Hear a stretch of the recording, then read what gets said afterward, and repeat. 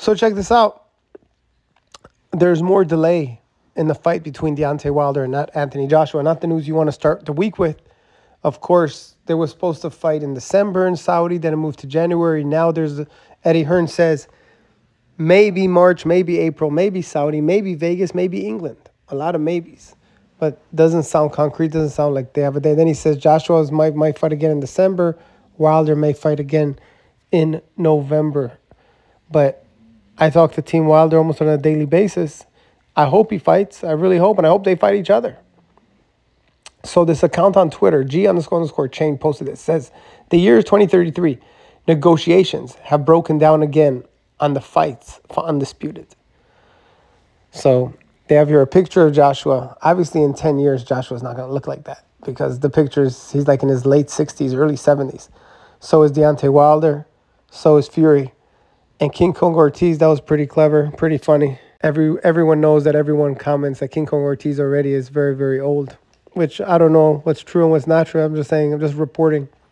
So they put everybody's pictures old men except him. He looks the same like he looks today. But he's a great dude and a great father and a great warrior. So negotiations are broken down again on the fights for undisputed 2033. Hopefully the fight happens and hopefully it happens soon. I want to see these guys in the ring. I want to see the Wilder, Joshua, the Wilder, Andy, the uh, Andy and Usyk, Wilder and Usyk, uh, Joshua and Fury. Make all those fights happen. Um, Fury wants to um, he wants to fight Ngannou, obviously, and he wants to fight um, Jon Jones. He's not interested in fighting Alexander Usyk. Usyk's mandatory is Filip Hrgovic. He's number one mandatory for the IBF.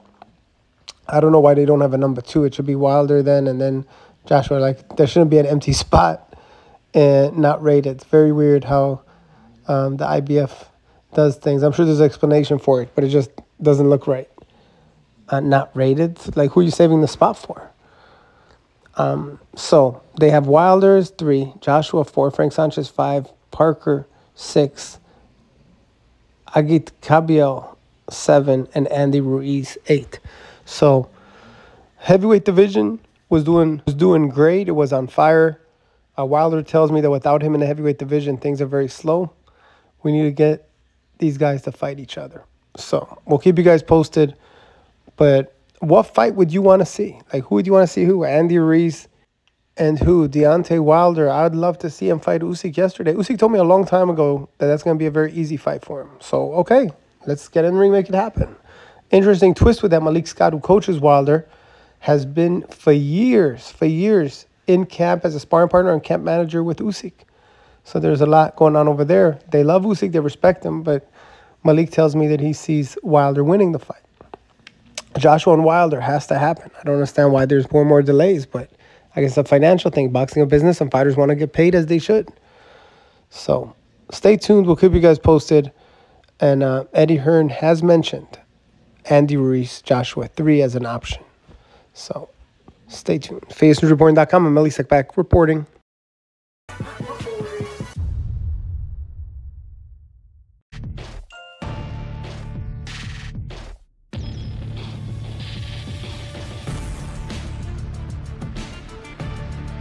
I'm Elie Seckbach, Elie Seckbach reporting for ESNewsReporting.com. I'm Elie Seckbach reporting. ESNewsReporting.com. I'm Elie Seckbach reporting.